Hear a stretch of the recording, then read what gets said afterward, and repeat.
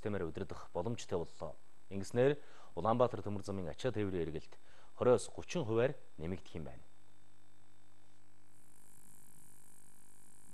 За Улаанбаатар төмөр зам хувь нийлүүлсэн нийгэмлэг гал тэрэгний хөдөлгөөний аюулгүй байдлыг хангахын тулд хоорондын зай нэг өртөө газар байсан.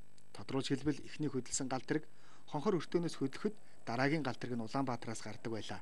Харин одоо ачааны 3 гал тэрэг хонхрын өртөөнөөс бараг зэрэг шахуу хоорондоо километр орчмын зайтай ирж байгааг та бүхэн харж байна.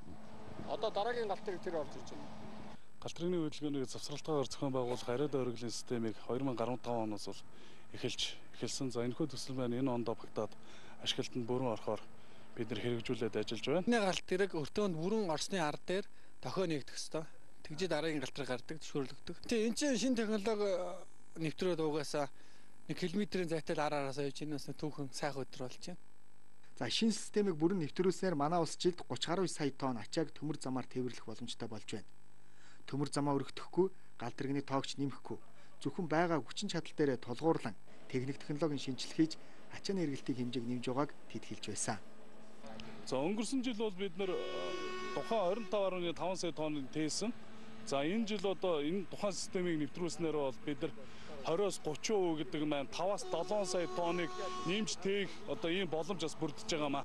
За манай ус өнөөдрийн байдлаар 1500 орчим километр замыг ашиглаж байна. Замын үдийн бомтоос 90 хот руу өдөрт 13-аас 14 гал тэрэг аялдаг байна.